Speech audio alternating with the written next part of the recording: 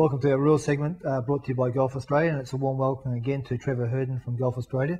Trevor, we're going to touch on what players, what are the requirements of players on the putting green. Can you uh, enlighten us on that, please? Certainly. Um, I guess one of the priorities on the putting green is first of all to repair your pitch mark, you know, for making sure the course is kept in good order. Now, can I, can I just interject there for a moment? Uh, do you have to get permission to repair a pitch mark or an impediment on your line of putt?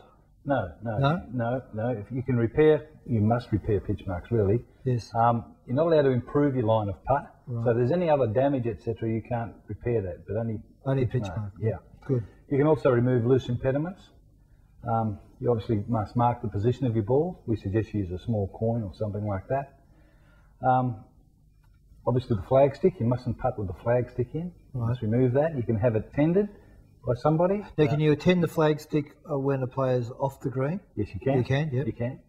Uh, but basically, they're the, they're the basics of the putting green work.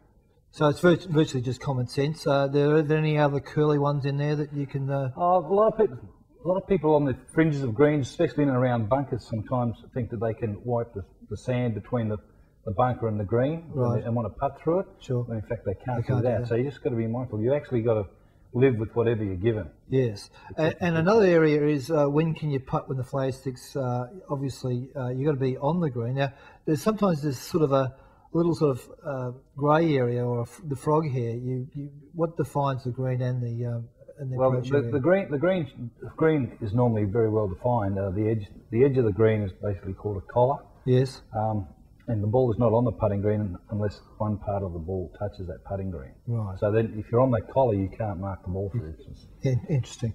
Well, Trevor, again, another very insightful area in the rules of golf. Thanks very much for your time again, and we'll see you next week.